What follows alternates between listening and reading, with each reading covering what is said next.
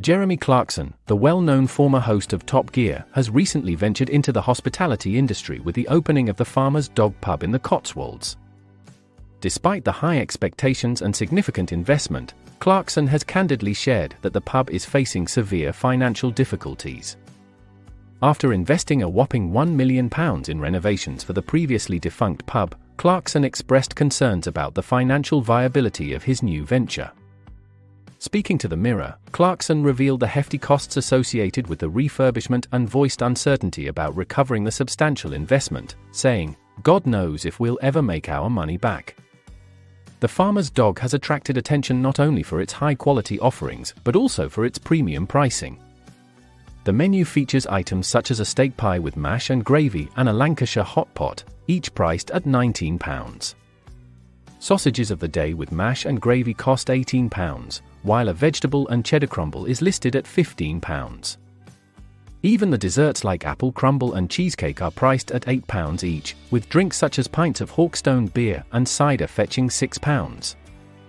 Despite criticism over the pricing, Clarkson has defended the cost, highlighting the locally sourced, high quality ingredients used in the dishes. Every single thing was grown by British farmers, even the black pepper and the sugar. Clarkson emphasized, showcasing his commitment to supporting local agriculture. The pricing strategy, however, has not been without its detractors.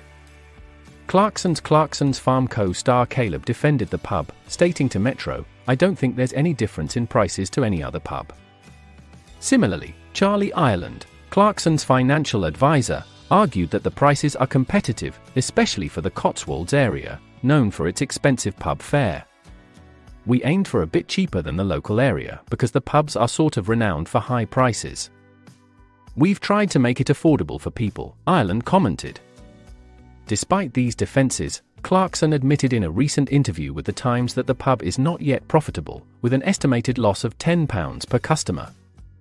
I asked an AI program to work out what the average price of lunch in a Cotswolds pub is and just charged that, Clarkson explained, indicating that the pricing was meant to be on par with local standards. As Clarkson battles these financial hurdles, the future of the farmer's dog remains uncertain.